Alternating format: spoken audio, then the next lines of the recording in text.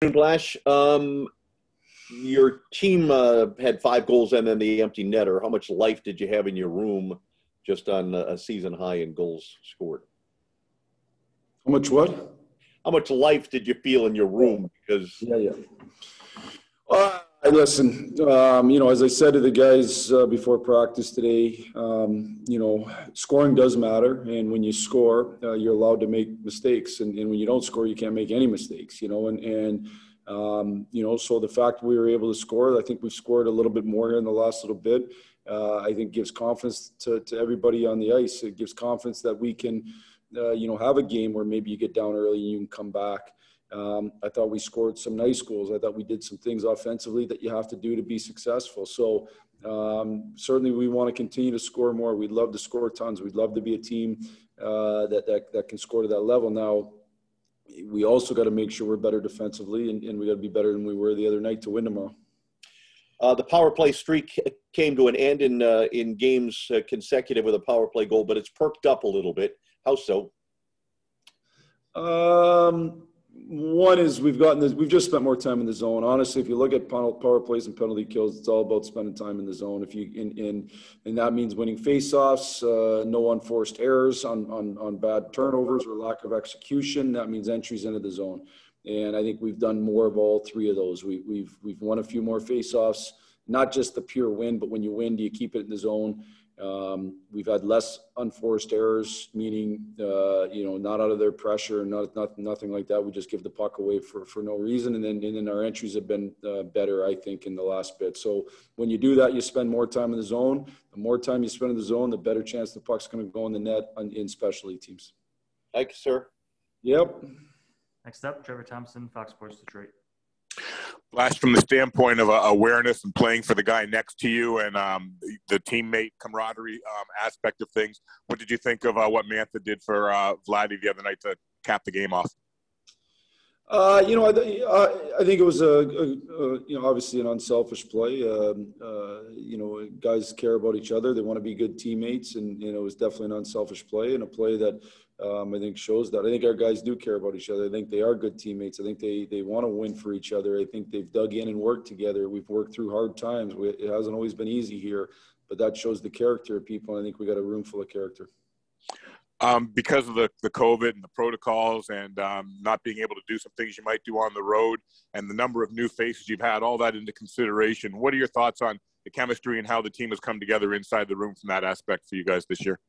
Yeah, I thought it's been pretty good. You know, you're you're limited from some of the social functions, maybe away from the rink that you could normally do. That I think are important things um, to to grow as uh, you know as families really together in a lot of cases and as a group of guys. And and so that's hard. But but I think um, you know we've got a good group of people. They they they they're they're they're good, honest people. They work hard. They want to win. And I think the biggest thing is I think we're galvanized by the um, the, the work that we want to put in to try to be a better hockey team here. And, and that's probably the biggest thing that's galvanized us. And the last thing for me, just along those lines as well, is there anything you've been able to do, um, given the structure of things, that has helped or aided in uh, building chemistry and guys getting to know one another uh, off the ice? Not, not really enough, and, and it's just one of those years for two reasons, Trevor. One, uh, we just can't do much, and so there's just not really a whole lot we can do that way. Uh, and two, uh, the schedule such that you know you are playing every other night in a lot of cases, and it just uh, uh, you know it becomes really difficult to, to do anything uh, other than kind of be in your routine. The biggest thing I would say to you though again is I think chemistry is born from guys uh, having a common goal of, of uh, working together. Um, to, to try to make this a, a, better hockey team and try to get our program into a better spot. And I think our guys are galvanized by that. So a lot of this stuff really this year does have to happen like on the ice, literally. The, the coming together in that way. Okay. Thanks, Blash. Yeah. Next question from Ansar Khan with MLive.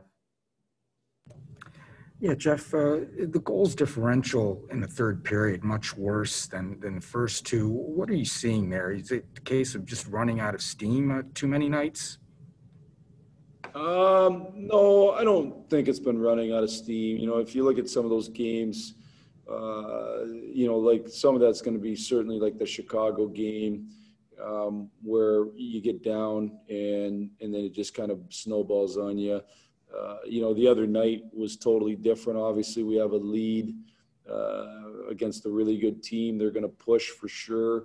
Uh, you know, we kept it out of our net till under four or four-ish, I guess, and and um, uh, and then once it came, then they're going to come hard. And it's unfortunate those goals go in, but I don't think it's a lack of uh, of, of losing our steam or, or lack of anything that way. I think it's just been situational. And uh, here, as you start the second half, uh, you know, the team looks about as healthy as it's been, uh, you know, other than Bertuzzi in a while. How much does that kind of provide a little hope that things could be better in the second half? Well, I think when you look at our, our record, um, you know, I think if you take away the stretch where we missed five guys to COVID, um, I think the record looks a lot better. So, you know, that gives you hope that you can continue that moving forward here. I think if you look at, you know, we, I think we lost the three games without Larks. He's a big piece. You know, sometimes not the number of guys you're missing, but what pieces.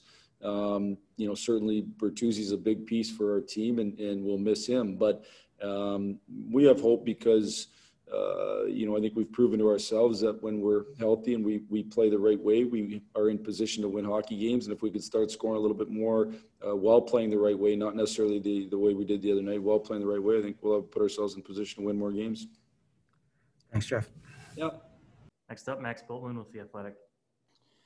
Hey Jeff, uh, Glendening got a, a lot of the the Point line this weekend. I know he usually gets matchups like that. I'm just curious, you know, when he's out there against offensive players like that, what are some of the little ways that he goes about slowing guys like that down? Well, first off, it's not just him; it's that line. Um, you know, I think they've really played well together as a group. They, they bring little different characteristics to it.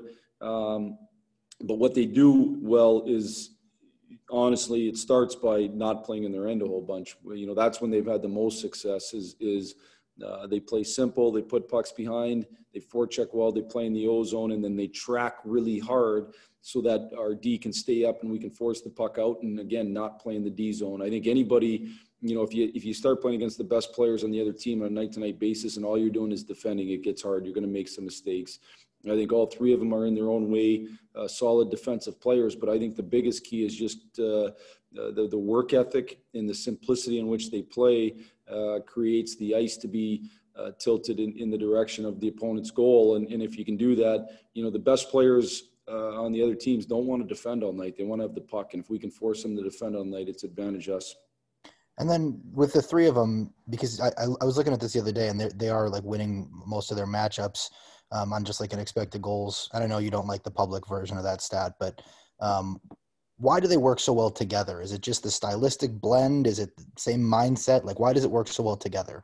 Uh, probably both of those. You know, I think from a stylistic blend, um, you know, Helmer can really help that line too because of the speed that, that, that he can play with. So it makes the other two even faster. They both, both uh, Glennie and, and, and Earns are, are, solid skaters that work really hard. So they, they make themselves faster with their work ethic, but, but Helms brings that to another level in terms of speed. And so if they ever get them, it allows them to play really aggressive in the ozone on a forecheck and an ozone hound because they know they can win the race coming back to our end. And so I think that stylistic blend's important. And I think the fact they have the mindset that um, they're going to keep it simple. They're not going to try to make it more complicated, and they're going to make the opponent defend. That's the number one thing. And I think sometimes uh, when it's when it's skilled players playing against other skilled players, they want to make lots of plays and you end up turning pucks over, and now you actually end up defending because of it. So that's that's why it can be a real advantage if you can have a line that, that can check the other team's best line.